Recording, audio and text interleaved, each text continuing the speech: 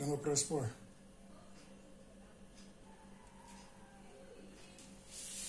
Hit it, hero.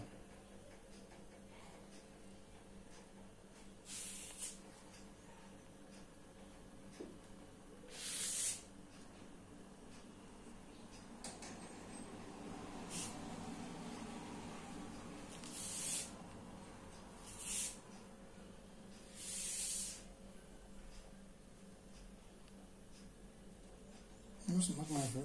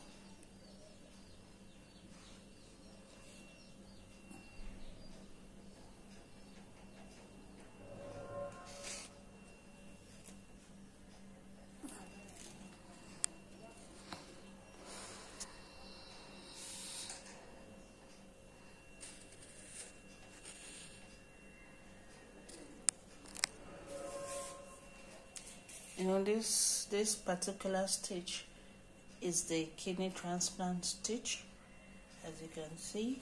And um, I thank God for his faithfulness. I am so grateful to God. Then this tube is called a drain.